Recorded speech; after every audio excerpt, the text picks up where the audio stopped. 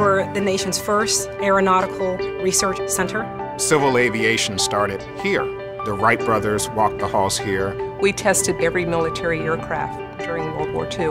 We were there when Viking was developed and we led the first landing on Mars. The evolution of the space shuttle, all that design work was done here. We've been in the business a long time and in fact have solved a lot of the problems that got us to this point.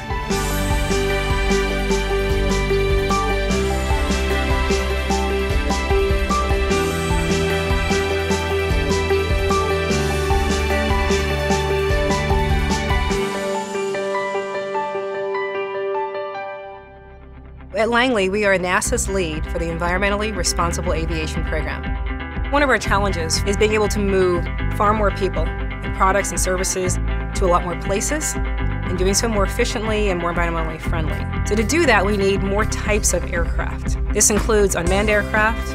It also includes looking at rotorcraft. We're also looking at supersonic aircraft and enabling supersonic flight over land safely and quietly.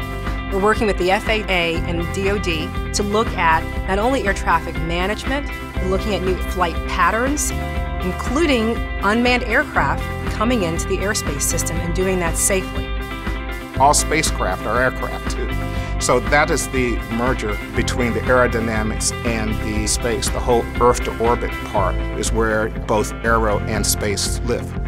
Right now, it takes a lot of people and a lot of care and human touch in order to ensure that a particular spacecraft doesn't wind up landing on top of a boulder. So we're working on the vision and the ranging systems associated with autonomous landings. We get a lot of challenges, and often when we go and try and address those challenges, structures and materials are part of the solution. So a good example is the Space Launch System, or SLS, NASA's next rocket that is for heavy lift that will replace a space shuttle.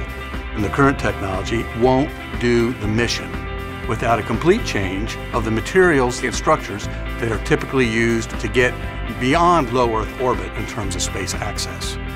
Automated manufacturing, net shapes, there's a lot less scrap. All this has now come together as a result of a lot of work that was done at this center in the past that went into airplane applications that now directly moves into applications on the space side.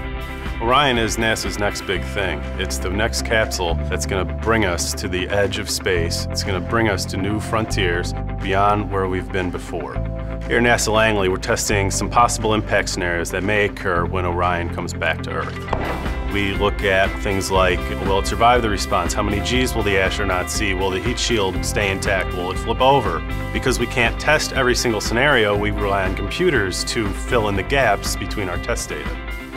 If you send people to Mars with the technology got now, when they get back, their body's full of cancer because of radiation. There's a lot of analysis that's done here at Langley to show that in a radiation sort of environment that in fact are protecting the people or the instruments.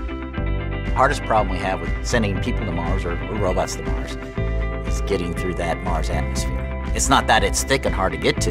The problem with Mars atmosphere is so thin.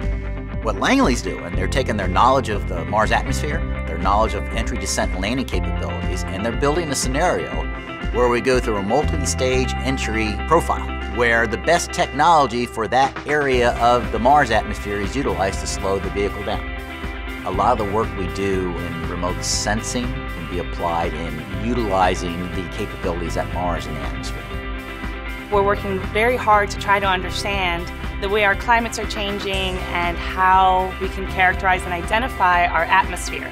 So some of the projects that we're using to be able to acquire this type of data are things like SAGE 3, CALIPSO, the CERES instruments, and we're really excited for some of the missions such as TEMPO and CLARREO, which can help fill the gaps in our understanding in terms of the way our atmosphere works and how we can make better decisions to protect our planet.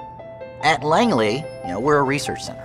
We're not about today, we're about tomorrow. How do we make tomorrow a better place to go? I want to be here to make a difference projects that we're doing can provide information that's valuable not only to the United States but to the world. It makes me proud to be a part of a family of researchers and engineers that are doing cutting edge work all the way from concept to flight.